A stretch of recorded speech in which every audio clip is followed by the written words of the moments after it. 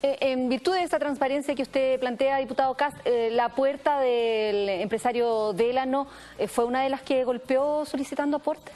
Afortunadamente no, no, no tengo, no, no, no fui a- y no recibí ni aportes del señor Delano, ni tampoco fue una de las puertas que nosotros tuvimos que golpear.